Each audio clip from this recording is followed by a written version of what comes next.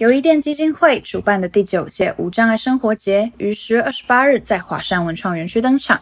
本届活动以感官生活圈为主题，借由互动展览与生长者现场短讲，希望让民众体验视觉、听觉等感官受限的生活障碍，了解生长者的不便与困境。有障碍的生活对于生活来说是。极其的不便，那也可以了解到，就是身障朋友外出或者是在生活上面的一些不方便的情况下，愿意可以转换心情，就是去同理，并且来尊重跟改，努力一起改善我们的生活环境。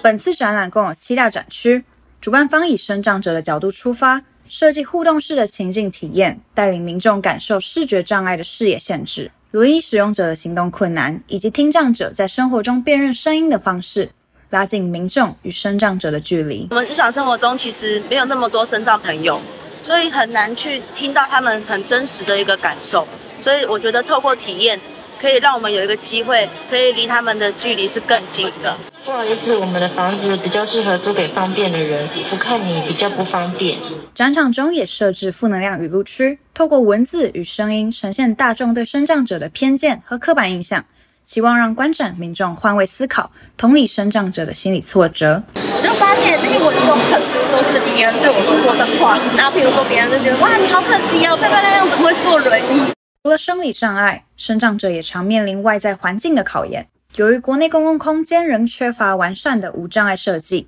常见的人行道、无障碍坡道时常过于狭窄或陡峭，不仅增加生障者的行动成本，也威胁他们的外出安全。到最困难的障碍就是人行道，永远都是有阶梯的，会上不去，或者呢，我们的人行道会被占满了机。机车这样子，很多的无障碍通道或是电梯，其实都设在比较远的地方。对于这些行动不便的人来讲，他们都要走很远，或甚至是绕一大圈，有时候甚至根本是找不到指引，就是混乱。除了希望民众多加同理与尊重，生长者与相关权利倡议团体也呼吁政府在制度规划面能纳入不同障别的需求，减轻生长者生活的不便。借此建立友善的无障碍环境。记者谷雨恩、李念婷、陈梦华综合采访报道。